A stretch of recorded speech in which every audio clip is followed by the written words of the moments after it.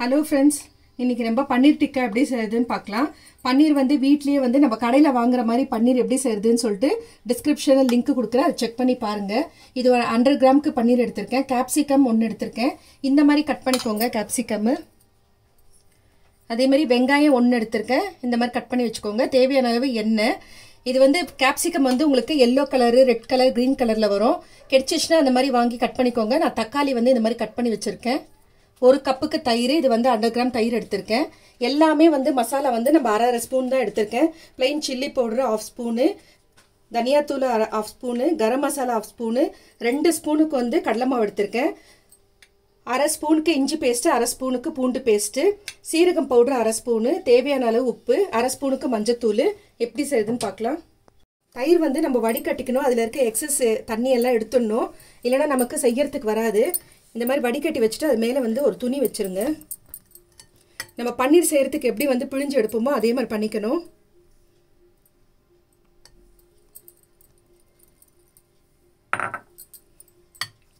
சேர்த்துட்டு ஒரு பத்து நிமிஷத்துக்கு நீங்கள் அப்படியே வச்சுட்டா கூட இதில் இருக்க தண்ணியெல்லாம் வந்து உங்களுக்கு வந்துடும்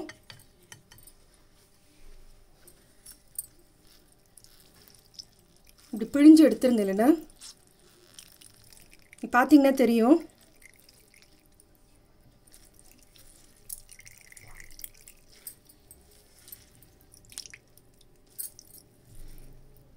இந்த மாதிரி எடுத்துட்டு ஒரு பத்து நிமிஷத்துக்கு அப்படியே வச்சுருங்க. பாருங்கள் அதில் இருக்க தண்ணியெல்லாம் வந்துருச்சு. இப்போ நம்மளுக்கு தயிர் வந்து திக்காக கிடச்சிருக்கு. ஒரு மிக்சிங் பவுலில் இதை சேர்த்துடலாம். மிக்சிங் பவுலில் தயிர் சேர்த்தாச்சு. இப்போ இதுக்கு தேவையான மசாலாலாம் நம்ம ஆட் பண்ணிக்கலாம். சில்லி பவுடர் அரை ஸ்பூன் எல்லாமே வந்து ஆஃப் ஸ்பூன் தான் எடுத்திருக்கேன் நான். தனியாத்தூள் ஆஃப் ஸ்பூனு மஞ்சத்தூள் கரம் மசாலா சீரக பவுடர் இது வந்து வறுத்துட்டு நான் பவுடர் பண்ணி வச்சுருக்கேன். உப்பு. கடலை மாவு ரெண்டு ஸ்பூனு இது மட்டும்தான் நான் ரெண்டு ஸ்பூன் சேர்த்துருக்கேன். இஞ்சி பூண்டு பேஸ்ட்டு அரை அரை ஸ்பூனு சேர்த்துட்டு இது நல்லா மிக்ஸ் பண்ணிக்கோங்க. இதுக்கு நம்ம தண்ணியெல்லாம் சேர்க்க போகிறது இல்லை. இந்த தயிர்லேயே இந்த மசாலாலாம் மிக்ஸ் ஆனால் போதும். அதுக்கு தான் தயிரில் இருந்த தண்ணியை கூட நம்ம எடுத்துட்டோம் வடிகட்டி.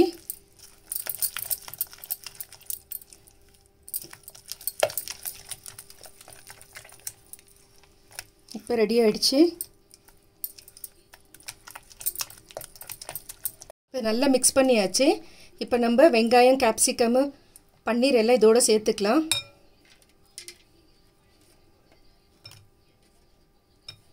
பன்னீர் போட்டதுக்கப்புறம் ரொம்ப மெதுவாக திருப்பணும். இல்லைனா பீஸ் பீஸாக ஆகிடும் உங்களுக்கு.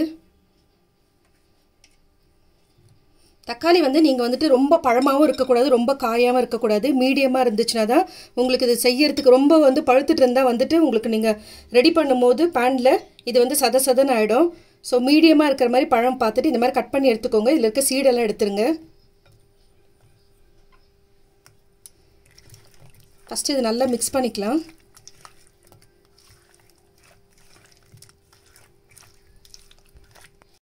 இப்போ லாஸ்ட்டாக வந்து நம்ம பன்னீரை சேர்த்துக்கலாம். ஏன் பன்னீர் ரொம்ப சாஃப்டாக இருக்கிறதுனால நீங்கள் போட்டு கலர்னிங்கன்னா பீஸ் பீஸ் ஆகிடும் பன்னீர் சேர்த்ததுக்கப்புறம் நீங்கள் மெதுவாக மிக்ஸ் பண்ணிக்கோங்க.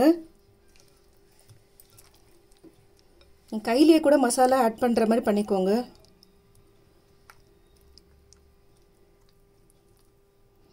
பாருங்க இந்த மாதிரி ஃபுல்லாக எல்லாத்துலேயும் பன்னீர் மேலே இந்த மசாலா டச் ஆகணும். இந்த மாதிரி ஃபுல்லாக ரோல் பண்ணி விட்டுக்கோங்க. அப்போ ஈவனாக வந்து எல்லாத்துலேயும் ஸ்ப்ரெட் ஆகும். இது மசாலா மிக்ஸ் பண்ணிட்ட பிறகு ஒரு ஆஃப் அன் ஹவர் அப்படியே வந்துட்டு ஃப்ரிட்ஜில் வச்சுருங்க.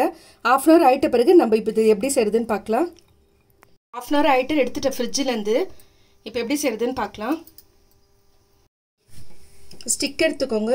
ஸ்டிக்கு வந்துட்டு நம்ம பேனுக்கு தகுந்த மாதிரி சைஸ் வந்து கட் பண்ணி வச்சுருக்கேன். இந்த ஷார்ப்பில் தான் வந்துட்டு நம்ம வந்து குத்த போகிறோம் ஃபஸ்ட்டு ஆனியன் வச்சிடலாம்.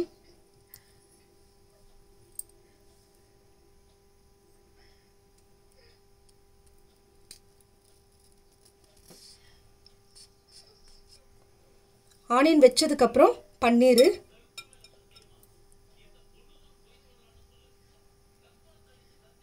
ஸ்லோவாக பண்ணுங்கள் பன்னீர் வைக்கும் போது உங்களுக்கு கீழே வந்து கிரிப்பு இருக்கும். அதனால் வந்து ஃபஸ்ட்டு ஆனியன் வச்சுட்டு பன்னீர் வச்சுருக்கேன். திரும்ப தக்காளி.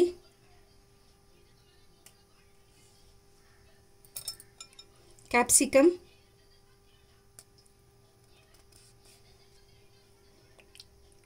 திரும்ப இன்னொரு ஆனியன் வச்சிடலாம்.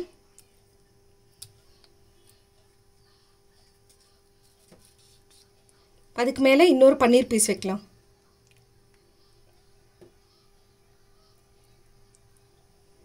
ஸோ இதே மாதிரி நம்ம எல்லாத்தையும் செஞ்சு எடுத்துக்கலாம். நான் இந்த மாதிரி எல்லாத்தையும் செஞ்சு எடுத்தாச்சு. இதில் வந்து லாஸ்ட்டில் வந்து நான் பன்னீர் ஒரு ஸ்டாப் பண்ணிட்டு இருந்தேன். மிச்சம் இருந்த எக்ஸஸ் ஒரு ஒரு பீஸ் இருந்தது கேப்சிகம் ஆனியன் டொமேட்டோ அதை திரும்ப வந்து எண்டில் இந்த மாதிரி எடுத்து வச்சுட்டேன். இப்போ பேன் சூடாயிடுச்சு. எப்படி செய்யுதுன்னு பார்க்கலாம். பேன் நல்லா ஹீட் ஆயிடுச்சு. ஒரு ரெண்டு ஸ்பூனுக்கு எண்ணெய் ஊற்றிக்கோங்க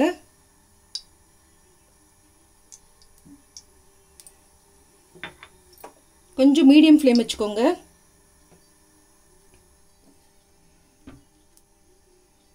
இப்போ ஸ்லோவாக இப்படி வச்சுட்டு ஒரு ஒரு ஒரு நிமிஷத்துக்கு வெந்ததுக்கப்புறம் நம்ம அப்படி அப்படியே திருப்பி விட்டுக்கணும்.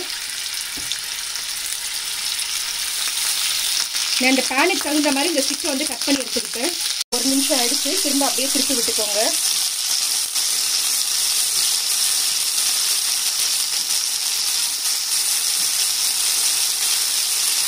ஃபஸ்ட்டு நம்ம வைக்கும்போது மட்டும் ஒரு நிமிஷத்துக்கு அப்படியே லோ ஃப்ளேமில் வச்சு விட்டுருங்க. அதுக்கப்புறமா வந்துட்டு நீங்கள் ஒரு ஒரு அரை அரை செகண்டுக்கு வந்துட்டு அப்படியே கொஞ்சம் கொஞ்சமாக திருப்பி விட்டுக்கோங்க. இப்போ ரெடி ஆகின்னு இருக்குது இப்போ ரெடி ஆகிடுச்சு நம்ம எடுத்துடலாம். இப்போ எடுத்துடலாம் நம்ம. பாருங்கள் எவ்வளோ கலர்ஃபுல்லாக இருக்குது பாருங்க ஃப்ரெண்ட்ஸ் நம்மளுடைய பன்னீர் டிக்கா ரெடி ஆயிடுச்சு. நீங்கள் இதே மெத்தடில் சிக்கன் கூட செய்யலாம். போன்லெஸ் சிக்கன் வந்துட்டு க்யூப்ஸ் க்யூப்ஸாக கட் பண்ணி எடுத்துன்னு வந்துட்டு கூட இதே மசாலாலாம் ரெடி பண்ணலாம். நீங்கள் மசாலா மிக்ஸ் பண்ணும்போது கூட ஒரு அரை எலுமிச்சம்பழம் தூவிட்டு அந்த சாறு மிக்ஸ் பண்ணிட்டு கூட பண்ணலாம். இது நீங்கள் செஞ்சுட்ட பிறகு கூட இது மேலே வந்துட்டு சாறு பிழிஞ்சிட்டு கூட சாப்பிடலாம். டேஸ்ட் ரொம்ப நல்லாயிருக்கும் இதே மெத்தடில் செய்யுங்க. பிடிச்சிருந்தா லைக் பண்ணுங்கள் புதுசாக பார்க்குறவங்களா இருந்தால் சப்ஸ்கிரைப் பண்ணுங்கள் மறக்காமல் பெல் ஐக்கானை ப்ரெஸ் பண்ணுங்கள் அப்போ தான் நான் போடுற வீடியோ உடனுக்குடன் நோட்டிஃபிகேஷனில் வரும். Thank you friends